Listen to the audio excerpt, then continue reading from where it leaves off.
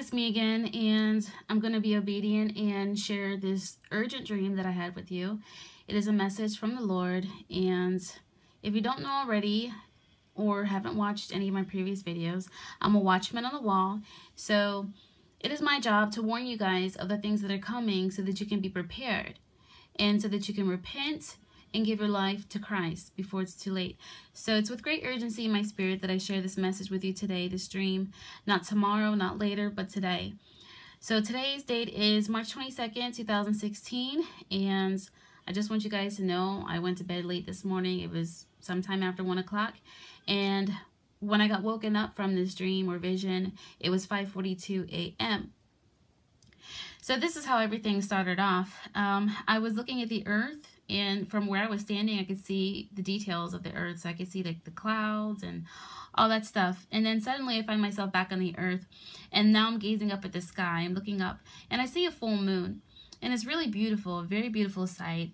And it's really close to the earth. So it's like one of those super moons or harvest moons. And it's really pretty. And so as I'm looking at it, I see it turn to a blood red color. And it stayed like that for a while, but then it went back to its normal size and its normal color. And then from like the look on other people's faces that were around me, I could see that we were just kind of waiting for an eclipse or something to happen in the sky, but I wasn't really sure. But yeah, so we're just looking up and we're waiting for something. And um, that's when I see this round red object fly right by the moon, like zoom. And then now all of a sudden I'm in a completely different view, like a different vantage point. And so I'm traveling inside of an airplane. So now I'm up in the sky and I'm flying. Inside the airplane, it's myself and three other family members. So I know that none of my children were with me in this, this dream or this vision. And wherever they were, I knew that they were safe. So I wasn't worried about them. But I'm kind of just more concerned about why I'm flying, to be honest. So anyways, um, like I said, I'm in the airplane and then I'm looking down out the window and I'm looking at the earth and I see the people start looking up in the sky and they start to panic and that's when I heard like a voice in the plane say it has just entered our atmosphere and then my heart sank because I knew what it was. I knew what that meant in my spirit. It was an asteroid and everybody else that was down there upon the earth, they could see this thing too. So that's why they were panicking. And, you know, this asteroid was just traveling so fast and with great speed. And the atmosphere just shook the airplane that I'm in. And I thought we were going to crash, but we just kept flying.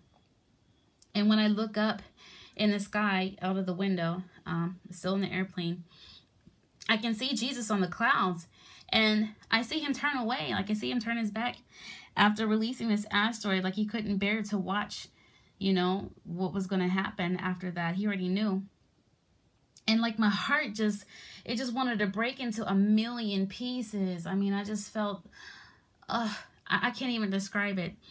But so like I can see, okay, so I can see the asteroid, I can see the earth, I can see Jesus like all at the same time. And it's really crazy that I can see all this.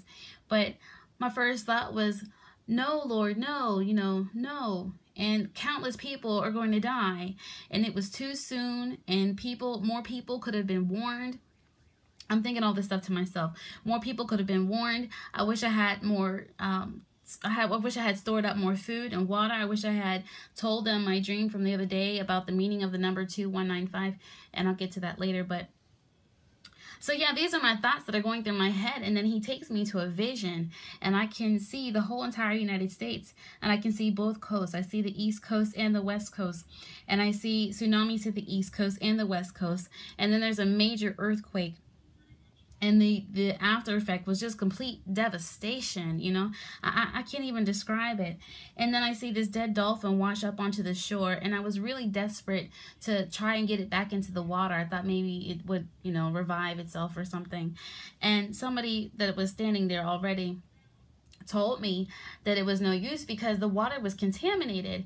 And then I just was so sad you know? It was really um, a heartbreaking sight to see and I, I love animals but so yeah, and it was just like darkness everywhere. And um, there were lootings and riots because there was a lack of food and water. So a lack of food and a lack of water and just riots everywhere and all over America just looked like and sounded like the streets of New York City, you know, at nighttime with all of its sirens and, and um, ambulances and all that stuff. So yeah, when I woke up, I was just really grieved in my spirit, you know, because he doesn't want to do this stuff. And I was just crying in intercession and, oh, man, you guys really don't understand. I don't think you really get it. Like, I really had to pull myself together just to even do this video. I've been weeping most of the day and just crying out to, to the Lord for mercy, you know. And um, exactly about an hour later, he gave me this message. So I'm going to read it to you. Um, this message came at 6.42 a.m. says, My children, my children, my children, have I not pleaded with you? Have I not given you enough warning? Have I not told you to stock up on food and water? Why do you not heed my warnings? Soon, my children, soon, and you shall see devastation like never before. And so that was the message he gave. And yeah, I, oh, man, my heart was just breaking. And oh, man, I, I'm sure it's only just a, the tip of the iceberg, a small portion of what he feels when he's going to have to do this thing, you know, bring this judgment down upon the earth. I'll just give you some scriptures real quick as we've been staring at this same page for the last, I don't know, six or seven minutes. But anyway, um, yeah, so this is the scripture he gave me first. It's Jeremiah chapter 8, verse 7. It says, Yea, the stork in the heaven knoweth her appointed times, and the turtle and the crane and the swallow observe the time of their coming. But my people know not the judgment of the Lord. So he's been giving us warning after warning after warning. And, you know, he's so merciful and so forgiving and loving and kind. And yet we just take him for granted and we provoke him to anger with all the things that we do. And, you know, we really have to repent and seek his face. And, you know, it's it's just crazy. Um, it's it's a shame that he even has to do all this, and why can't we just listen? You know. So yeah, um, the next scripture I have for you is from the same book, Jeremiah. Go to the 13th chapter, verses 25 to 27. It says, this is thy lot, the portion of thy measures from me, saith the Lord. Because thou hast forgotten me, and trusted in falsehood, therefore will I discover thy skirts upon thy face, that thy shame may appear. I have seen thy adulteries and thy neighings, the lewdness of thy whoredom, and thine abominations on the hills in the fields. Woe unto thee, O Jerusalem! Wilt thou not be made clean? When shall it once be? Wow. All right, uh, let's keep going. Ezekiel chapter 14, verse 13. Sorry. All right, so it says, Son of man, when the land sinneth against me by trespassing grievously, then will I stretch out my hand upon it, and will break the staff of the bread thereof, and will send famine upon it, and will cut off man and beast from it. So famine like I said, lack of food, lack of water. That's why you have to stock up now, now, now, now. Get your food, get your water, get whatever you need, your basic necessities, because darkness is coming. You're not going to be able to use your electricity or any of that. You're not going to be able to drink the water because it's going to be contaminated. Okay, that's why I saw the dead dolphin. And, and it's going to be so much death. Um, so many people are going to die. Oh, so many people are to die. Ugh, oh, man.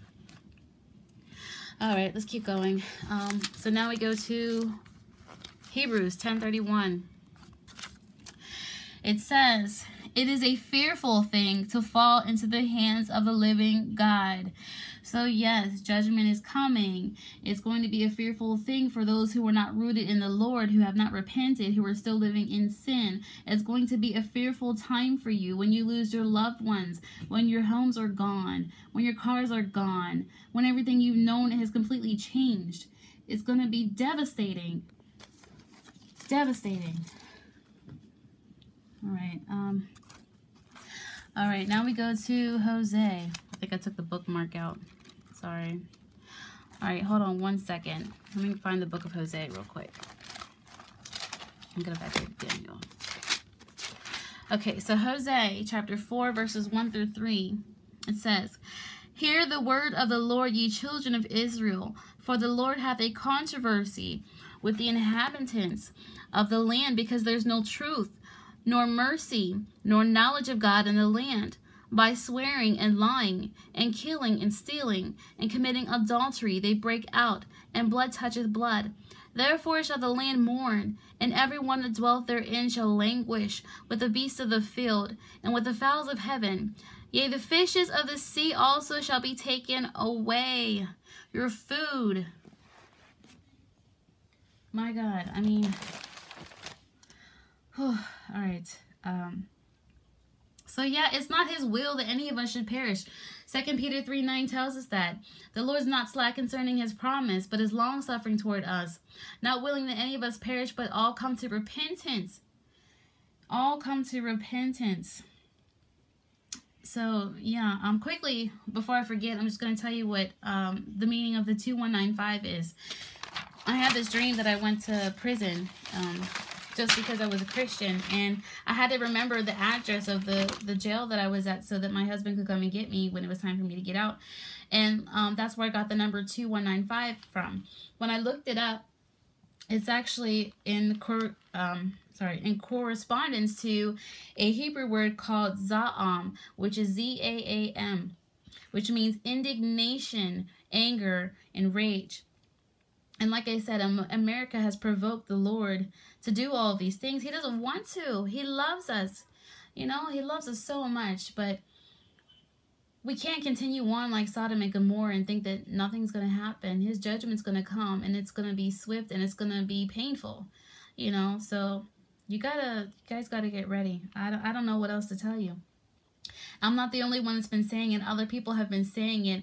Um, Efrain, Prophet Efrain Rodriguez has been saying it for years now, and and it's coming to pass. I believe it's going to happen this year. I don't know when. The Lord doesn't give me dates. All I know is that the signs of the times that we're living in, and also moons represent the seasons, days, years. So I, I don't want you guys to take the blood moon literally. I mean, the, the color red in itself is is warning. It's warning for you to know that these things are coming. So it is a warning and it's for a, a time whenever the Lord decides that it's time, which will be very soon. And so it could be days from now, weeks from now. I don't know. Next season, I really don't know. All I know is that it's coming and I just have an urgency to tell you so that you can't say on judgment day or if you die in this flood, this, you know, these tsunamis and earthquakes that you never heard it. So, uh, yeah.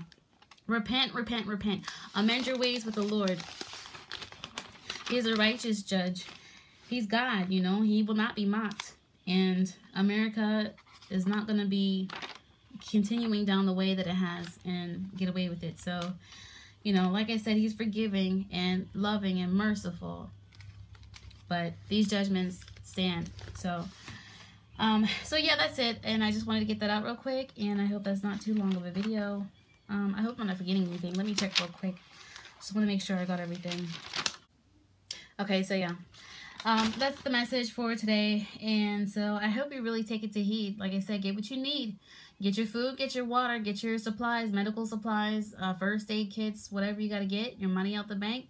Um, I don't know. Just get whatever it is that you need to get for you and your household and your family. And if you're on the coast, move away from the coast. California, the whole East Coast, especially Florida.